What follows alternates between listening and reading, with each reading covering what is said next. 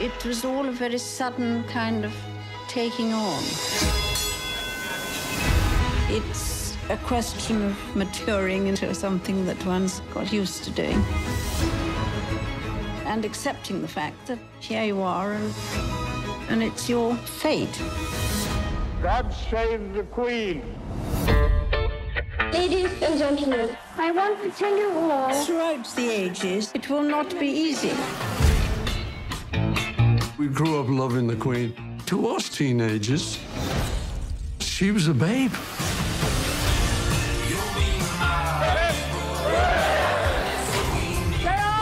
Look, it's on the wrong leg.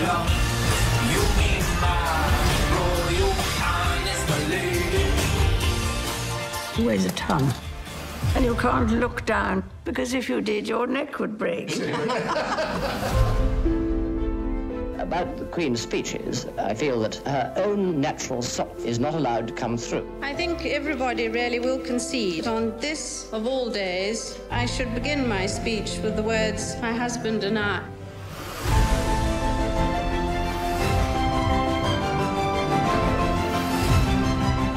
New institution should expect to be free from scrutiny. Did she feel like your mother or grandmother? Yes.